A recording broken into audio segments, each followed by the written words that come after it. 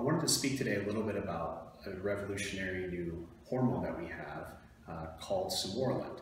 Uh, we get a lot of inquiries about growth hormone uh, and ways that we can handle this for anti-aging processes, but also to build muscle, look better, uh, and become leaner. Uh, one thing about growth hormone itself is it's not really indicated for anti-aging purposes and has a lot of unwanted side effects. However, we do have a, an alternative therapy that works just as well uh, called Sermorelin acetate. And Sermorelin acetate is a 29 amino acid peptide that's given nightly to yourself and it actually stimulates the body to produce growth hormone on its own naturally.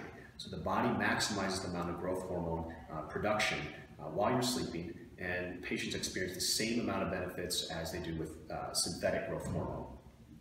Uh, is also bioidentical, um, but some of the benefits that patients receive from this is one, their skin feels better, it looks better, they get more elastic, uh, lean muscle mass is increased, um, body fat is reduced. Patients also tell me they have way more energy when they're on this, and um, uh, overall the anti-aging benefits of it that they experience with this are just uh, a lot more than they, they get with, with uh, uh, growth hormone itself.